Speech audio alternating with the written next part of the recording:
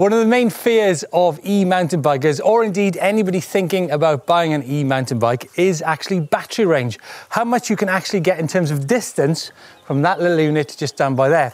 And it's affected by so many things, no more so than mode or level of assist, commonly known as eco, trail or boost. So in today's video, we're gonna have a look at the effect of mode on battery range.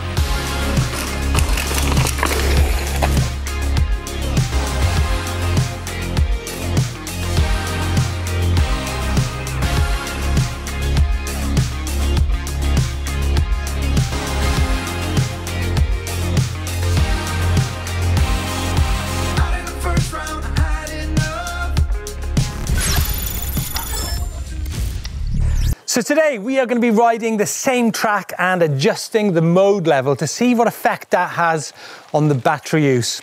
Uh, we've got two bikes. Uh, one is a Haibike and the other one is a specialized, both 180 mil travel. And during the day, we'll probably see how, say, eco mode in this bike will probably use different amounts of battery to eco mode in that bike. Uh, more than that, and it's something we'll touch on later, is how you can adjust the levels of assist on each bike as well. The bikes we're riding are enduro style e-mountain bikes. They're the kind of bikes you're going to take on those big long rides where battery range anxiety might come into play. Yeah, Absolutely, Chris. Now, in terms of the assistance levels on each of these bikes, uh, I'm riding a Yamaha powered Haibike here, and it's got five levels of assistance on it. It's got Eco Plus, Eco Standard, High, and Extra Power mode. Now, this bike actually has come in standard factory settings, and you cannot adjust it, which is actually quite different to Chris's bike, which you can adjust. But Chris is riding his in factory settings as well, isn't that right? Yeah, Chris? factory settings. Got three power modes on this. We've got an Eco setting, a Trail and a turbo boost button as well. So three different settings which can be adjusted by the mission control on the app on your mobile. Yeah, but we're going to go into that a little bit later on. We're going to start this ride and we're both going to be in low powered modes. I'm going to be in Eco Plus and Chris is going to be in Eco. So the trail we're riding today is about six miles and 800 feet of climbing. Uh, the conditions are actually quite rough, so you might want to take that into account when you see our results later on in the day. And because me and Chris actually will use a certain amount of battery consumption, you shouldn't take that for granted because, like I said, such things as the trail condition, the weather conditions, the rider weight, the tyre choice, the tyre pressures, all those things will have an effect on your battery range. But at least we will see what's achievable in each of the modes. Exactly that. It's a great example of a typical trail ride. Now, even though I'm riding in the lowest level of support on this bike, it's easy to forget just how much support that motor has given you. And you really have to concentrate on keeping the momentum going to make sure you don't lose fitness. In fact, I actually like using a heart rate monitor to keep an eye on my effort levels. But how's that battery doing? Now Jones might be an Eco Plus on the Yamaha motor, which arguably might be a little bit less assistance than I'm riding on the Bosch motor on the Kenevo. But hopefully both gonna use minimal battery power and they're a lot more fun than an antique bike, that's for sure.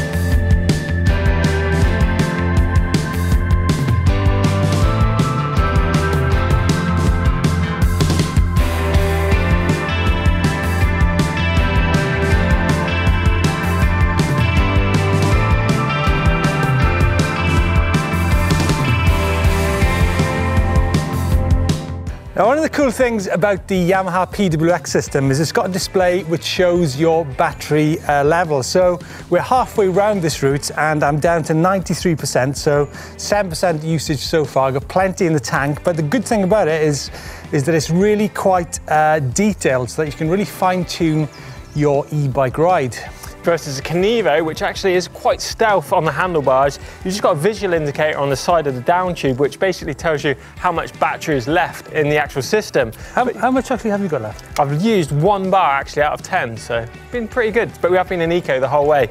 But with this bike, you can get a third party device which will mount on the handlebars and will give you loads of information from your heart rate to your route to your cadence, every single thing. Probably more options than what the Yamaha have. Didn't you tell me earlier that you can actually have that Levo or the Kenevo tuned into your watch? Yeah. So you can actually change the yeah, yeah. you can change the mode level yeah. on, on your wrist? Yeah, yeah, with the Garmin and uh, different devices like the Apple Watch and that, you can actually scroll through and change settings on the bike via your watch. So it's super clever.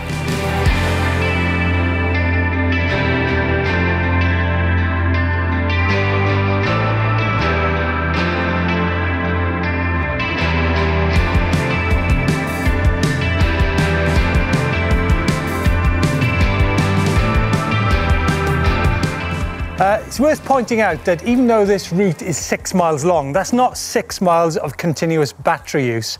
Um, that's because a lot of the terrain we're going to be pumping down through some sections and there's a lot of downhill sections. So don't take it as it's six miles of battery use. Also, we're going to bear in mind is that uh, because we're in Eco and Eco Plus mode, we're easily able to keep under that 25 kilometers an hour restriction. So uh, like if you do, if you go beyond that, that means you're going to be using your own power, which kind of affects the ride really. So I think when we get around to riding in our um, turbo and um, high power mode on this bike, we need to be really careful that we keep under that 25k. Yeah. Well, Chris, what a what a day out.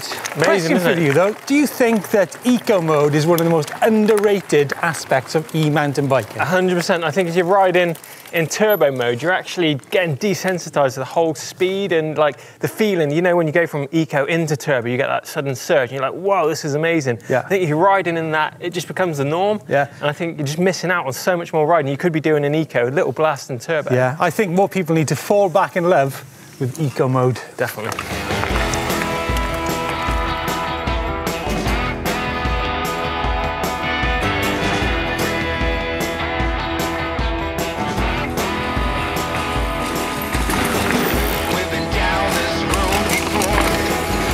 Now we've completed our first, albeit short, six mile trail centre loop. Uh, if you remember, I started on 100% uh, in Eco Plus mode. I'm now in 91% uh, charge level on my bike, which is actually very, very little considering the amount of riding we've done in the last half an hour. Chris, what's the scores on Well, the Kenevo With doors? the Kenevo, I started on 97% and I've actually finished this on 78%. So I've used 19% of my battery. So, that's pretty almost double what I've used. Yeah, yeah, so that's, that's quite interesting. So uh, there you can see how the modes differ, not just um, within a bike, but actually between bikes too.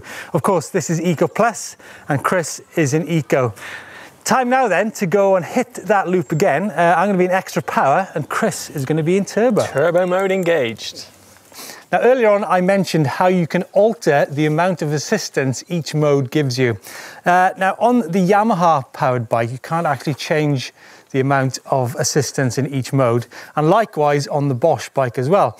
However, on the Shimano E7000 and E8000 bikes, you can actually change the amount of support in each of the modes via the E-Tube apps. For, so, for example, you ride in Eco, you can either, either have a lot of support in Eco or very little support in Eco. So that again is going to change the amount of use or the amount of draw you pull on your battery.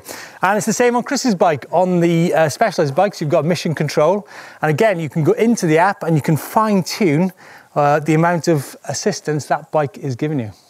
Oh, you can see why people get consumed by the higher power settings because the pace difference between the first run is absolutely ludicrous. Woo!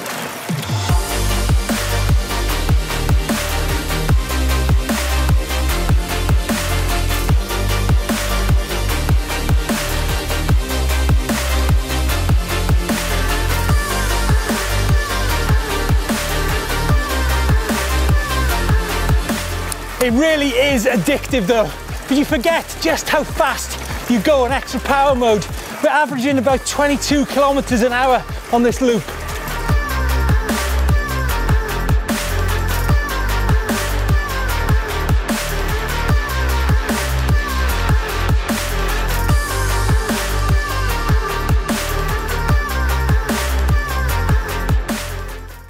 Highly addictive and an insane amount of fun. However, that comes at a high price, Chris. Definitely, yeah. I used 30% of battery on that one run then. Wow, that's a lot, isn't it? That's in, uh, in turbo mode on Chris's bike. Yeah. Uh, I was in extra power mode on the uh, Yamaha powered uh, Haibike. Uh, like I said, 25% battery use on that run alone, compared to say 9% which I used on the first run. And if you think about it, that 9% on the first run, I could have actually done on a 30 minute loop, I could have done 10 loops. Whoa, it's massive. And that numbers, yeah. that's five hours of riding, which Uh, is pretty yeah. crazy. I suppose it comes down to how much time you've actually got to ride. You know, if you were Mm. to turn up here and you've only got an hour, then I would smash it in turbo, do a couple of laps, and go home. But Exactly. You know, like I used 25% then. I could have done four uh, 30 minute loops, probably like, you know, about two and a half thousand foot of climbing, Yeah. 24 miles. Pretty That's not numbers. bad, is it? Pretty good. So there you go. Uh, guys, let us know what you think about um, battery usage on your e-mountain bikes. Uh, remember, it, it, differs between all the mountain bikes. Uh, Chris's bike got a different amount of torque compared to my mountain bike, and say if you compare it to a Shimano bike as well. Uh, yeah, say, let us know your comments. If you've got any questions relating to e-bike battery usage. Meantime, check out Chris's video where he did his 100k the fun way. Uh, and also we've got one on tyres. Remember, tyres have an effect on battery range as well. And there's one here which looks at the effect of tyre compound on battery range. Give us a thumbs up if you enjoyed it. Don't forget to drop us some comments in the box below and click the globe in the middle of us to subscribe to EMBN. Bacon roll!